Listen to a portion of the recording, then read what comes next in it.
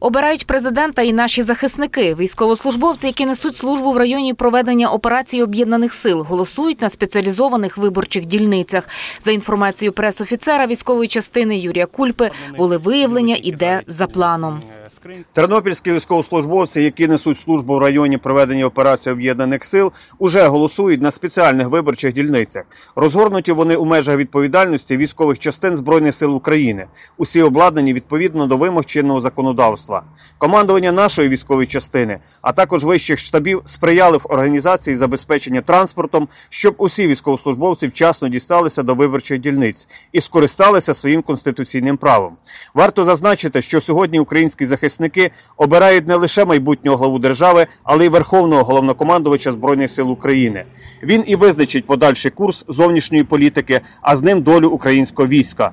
Проголосувати за свого кандидата виявили бажання усі військовослужбовці, адже від цього залежить захист нашої держави в майбутньому, а разом з ним безпека українських громадян. Представники військової служби правопорядку, представники національної поліції.